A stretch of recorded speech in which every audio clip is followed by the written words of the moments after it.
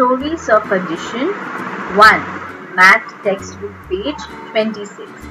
Today we will learn how to solve those story sums and what statements we can use. First story sum Dada had 15 rupees. His aunt gave him 20 more.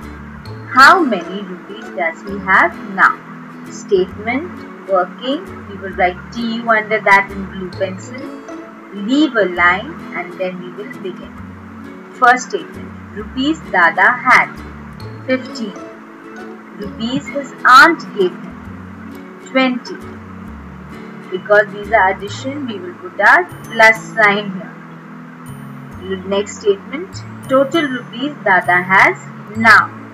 We will add 5 plus 0 is 5 and 1 plus 2 is 3. So the answer is 35 total rupees Dada has now. Next sum.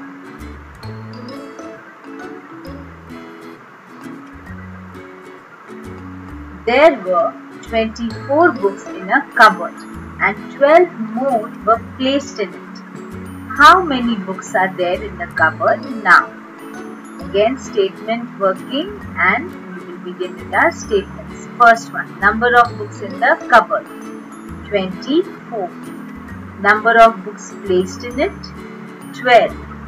Therefore, the total number of books in the cupboard now 4 plus 2 4, 5, 6. So the answer is 6. 2 plus 1 is 3. Answer 36. Total books in the cupboard now. The third sum is There were 18 boxes in the house. Mother bought 11 more boxes from the market. How many boxes are there all together in the house now? So our first statement is number of boxes in the house because that is the first thing that is given to us. Next what are they telling us? That mother bought 11 more boxes.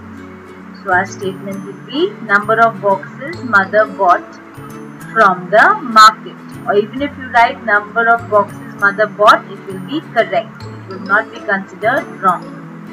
And the answer we have to write over here 11 what are they asking us? How many boxes are there? All together. So total number of books total number of boxes it is. So we will do total number of boxes all together in the house now, 8 plus 1, 9, 1 plus 1, 2. Answer 29. Total boxes all together in the house now.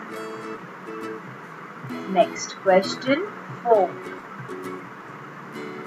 Sajid has 24 eggs and Shabana has 32. How many eggs in all do they have? So first statement number of eggs Sajid has which are 24. Number of eggs Shabana has 32.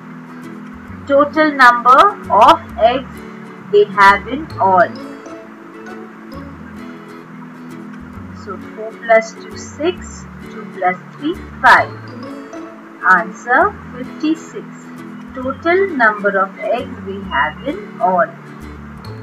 Or even if you write just total eggs they have in all, that would also be considered correct our next sum. The next sum is Maria collected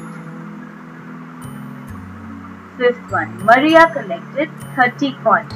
He has 24 coins. How many coins do we have all together? The number of coins Maria collected which are 30.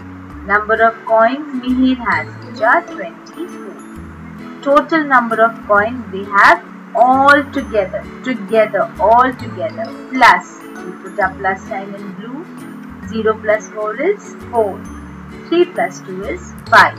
So the answer is 54 total coins we have all together. Do remember to like, share, subscribe, and click the bell icon to stay updated on all of the latest videos. Please let us know in the comment section below what other lessons you would like us to make. We would love to hear from you. Thank you for watching.